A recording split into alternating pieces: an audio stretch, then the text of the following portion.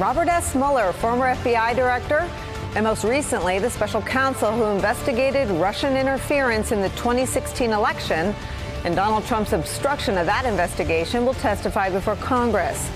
To say the eyes of the world will be watching would be an understatement. The president's degree of angst and alarm will be easily tracked on his Twitter feed and Rudy Giuliani's media appearances. Any gains made by Democrats in communicating the devastating details unearthed by Robert Mueller's 448 page report will be discerned only by what happens after Mueller's testimony. Does Congress call additional witnesses to appear? Do they strengthen their power of subpoena? Do they press the case made by Mueller himself that if the special counsel had found that Donald Trump had not committed crimes, he would have said so. Some of those questions will be answered tomorrow and in the days that follow. But today, today we can answer questions about how we got here. How did the FBI come to open an investigation into the Trump campaign and its suspicious contacts with Russians? How did the FBI view the firing of its director after that director failed to abide by the president's request that he see to it to let Mike Flynn, the president's national security advisor, who admitted to lying to the FBI about his conversations with the Russian ambassador, go? Why did so many people around Donald Trump tell so many lies about the very same thing? Their contacts and communications with Russians. And how can members of Congress best utilize their time with the man who knows the answers to all those questions when he comes before them tomorrow. There is no one better suited for that mission than former FBI Director, former Deputy Attorney General, author of the book A Higher Loyalty, Jim Comey. Also with us here at the table for the hour, former senior FBI official Chuck Rosenberg, former Democratic Senator Claire McCaskill, former Republican Congressman from Florida, now an independent, David Jolly, and Berit Berger, a former federal prosecutor for the Southern and Eastern Districts of New York an embarrassment of riches in terms of expertise. We're going to start with you, Mr. Director. How did we get here? We got here uh, in terms of the FBI's investigation because we learned in late July of 16 from an allied ambassador who had had a conversation with a Trump foreign policy advisor about that advisor's conversations about the fact that the Russians had dirt and were looking for ways to share it, to coordinate their use of it with the Trump campaign. That's what started our investigation in late July. So it's so cut and dry, it's so straightforward the way you put it. But what you just said is the subject of three investigations that we know of. The origins of that FBI investigation are now being investigated. Uh, Attorney General Barr has uh, ordered, I think, the third investigation being run out of the U.S. Attorney's Office in Connecticut. Uh, John Huber has been investigating the origins of the investigation, which you just detailed in, I think, less than about 17 seconds uh, for years. Um, the, the, inspector general is expected to come out with his findings. Why is it under so much scrutiny by so many people? I don't know.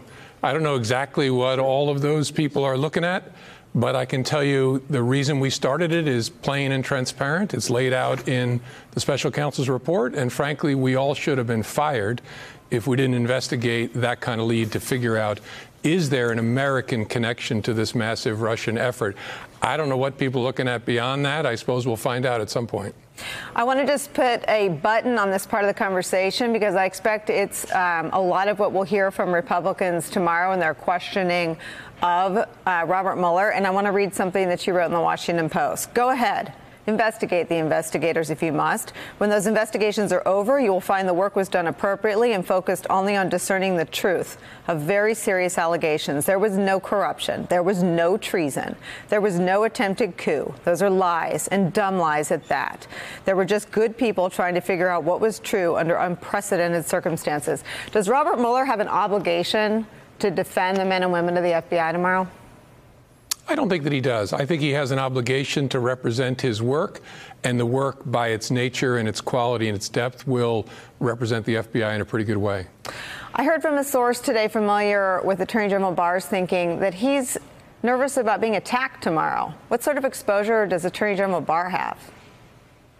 Well, I don't think he'll be attacked by the witness or witnesses. I think he may be attacked by Democrats, fairly, in my view, for misrepresenting what was in Director Mueller's report and how he handled the entire thing and the way he has slimed the FBI since. But frankly, I hope there's not a lot of that because this is a chance for the American people to learn more about what the special counsel found.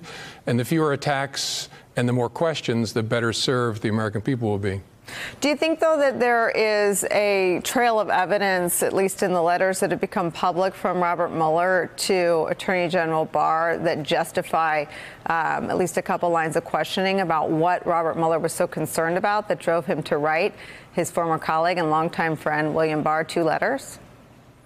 I'm sure there's good reason for people to ask. If I were advising them, and I'm not, I would urge them not to waste any of their five minutes on that because Bob Mueller is a person of his word. And he said he wasn't going to go beyond his report, so I'd be shocked if he would answer process questions. As troubling as the process might have been, that he'll answer them instead of just sticking to his report. And if you were advising them, I mean, you are. Um, I think, known to be a very effective storyteller. How would you elicit from Robert Mueller the story of his investigation? I would either ask him direct leading questions to have him affirm key parts of the report, or I would ask him to read lines from the report, or both. And this is a chance for the American people to learn what he found. It's too bad that having published a 450 page report. That didn't get the job done, but it didn't. Folks don't know what he found, and you can ask him in a simple, straightforward way and get those details in front of the American people. What are the most important details in that first volume about the Trump? Orbit the Trump campaign's contacts with Russians, the very same sorts of um, intersections between suspicious Russians and Trump campaign advisors or former campaign advisors that made you feel like you had to open an investigation into them? Well, the first volume focuses on that Russian interference. And to my mind, the most important finding of the special counsel is that there was a long series of contacts between people associated with the Trump campaign and Russians. And the two of those contacts are particularly troubling. One, his foreign policy advisor talking to someone who was representing the Russians about the prospect of them weaponizing dirt they had on Hillary Clinton in the form of emails. And second, that the senior campaign team took a meeting at Trump Tower in June of 2016 that they were told in writing was part of Russia and its government's efforts to help Mr. Trump. Those are two things that I think will surprise a lot of people who have just listened to the Attorney General and the President and who haven't read the report. And I think a lot of the public is. Um, if, if, you're a hardened Trump supporter, you may be comforted by the fact that no criminal conspiracy was charged. If you're on the other side, you may be troubled by it.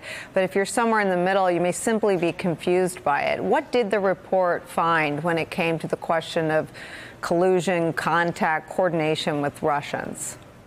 First, the special counsel said this investigation is not about collusion. That's not a thing except in political rhetoric. He examined the evidence to see if there was sufficient evidence to charge any Americans with being part of the Russian attack on our election in 2016. And to my mind, it's good news. He concluded there wasn't sufficient evidence to charge somebody with a crime okay, this is not a criminal proceeding tomorrow. This is about showing the American people the facts that were found. And the facts that were found, whether or not there are criminal charges, are deeply troubling. There were a lot of contacts between the Russians who were bent on interfering and the Trump campaign that was keen to benefit from that interference. That's important. Those, those facts are important for people to know. You're important to this story, too.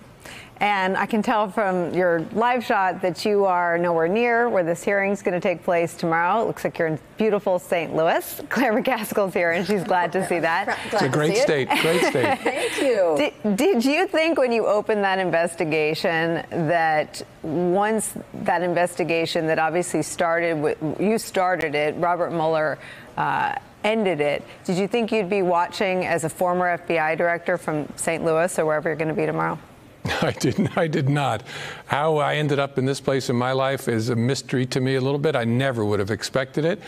But I didn't know what the facts were. We opened an investigation, as we do all investigations, to see what the facts were. And I didn't know whether it would show that there was a chargeable case involving Americans or not. I wanted to find out what was true. That's the FBI's job. And as I said at the beginning, I, I don't know who in their right mind would think the FBI should not have opened this investigation. I asked the staff of the FBI do it well, do it discreetly, because we don't want to smear innocent people, especially in the middle of a, of a political election year. But we don't want to let bad guys know we're onto them if there's something to this. That's work we had to do. I wouldn't have imagined it would end up with me sitting in a chair in awesome St. Louis talking to you, but I'm proud of the fact that we opened that investigation. I'm proud of the way that we did it, and I'm proud of the way that Director Mueller and his team continued it. In, in some of the political analysis, and I appreciate the distinction between what politicos and pundits do to what are, are in some instances, very technical legal questions, and, and, and please jump in and correct me if, if I get anything wrong in that vein. But a lot of people think you put some of this in motion by coming out after Hillary Clinton's investigation of her use of a personal email account, investigating whether or not she transmitted any classified information, and being so public and explaining her conduct. Donald Trump certainly felt at the time like that was a boost to him. You've testified that you feel physically ill at the thought that you had any hand in the election. Do you ever open up the newspaper or turn on the television and, and feel any sense of responsibility for putting any of this in motion?